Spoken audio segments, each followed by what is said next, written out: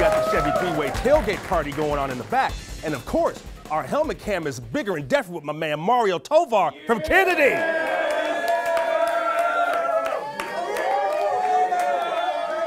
Now, as we step into the locker room, Bakersfield High hasn't been too hospitable in home routes of Quartz Hill and Foothill. Could Golden Valley upset the Drillers at BHS? Now, the Drillers came out to protect their home turf, and their mascot was ready. 7 nothing Drillers, and they're wanting more. Silas Nasita, who had four TDs last week, goes around right in, and he'll get to the corner of the end zone. 16 yards for the score, 14 zip BHS. Same score second quarter, the pitch to running back Derek Vickers, and he'll take it around the right side for 17 yards in the score to make it 21 0 BHS. Still 21 0 and BHS is now on the receiving end of this punt. It's high and over the head of the drillers, Kevin Hayes. But he grabs the pill at the 16, heads upfield, shakes a couple of tacklers, and heads towards the left sidelines where he's got some room and blocks to go with that. Now he's going to spin out of a tackle, keep going, and get what appears to be an 84 yard touchdown return. But he was called out at the three. Nonetheless, six different players scored for the Drillers, who defeated Golden Valley for a third consecutive year, this time in a 48 6 win.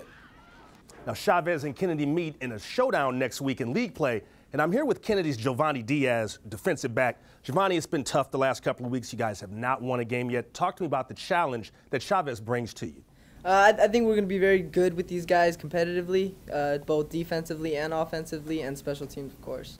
You know, you guys have had a little bit of trouble scoring touchdowns, but talk to me about some of the things you need to work on this week in order to improve. I think uh, for offense, we need to uh, hold our blocks more because we have that initial contact, really good push. We just need to hold it.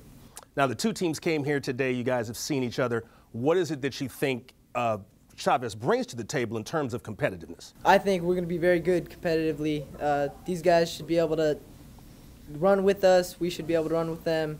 I think it's going to be a very good game you know, what are some of the things that you've seen in practice that you guys can improve on? Some of the teamwork, camaraderie. What are what are two things that you've seen to point out? Uh, I, I we're very we're very good family. We're really tight knit, and I think that we, we just improve on our own individual performances because as a team we're really rock solid. Thanks, Giovanni, and good luck next Friday night. All right, thank you too, Preston. Now, as we step back into the locker room, Independence and Miramonte were facing each other after different outcomes last week. The Lions snuck by Shafter, but Independence was edged by Highland. Now, the two squads are going to battle it out for the Griffin Bowl trophy.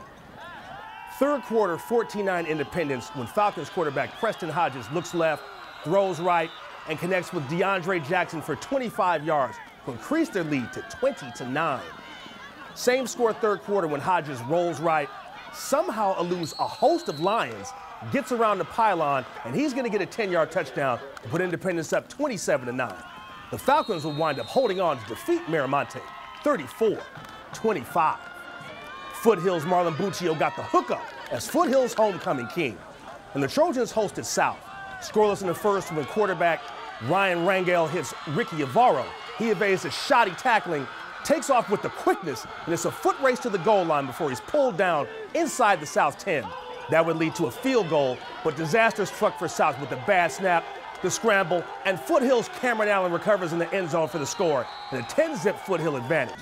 The Foothill defense handled its business and controlled things by forcing five turnovers.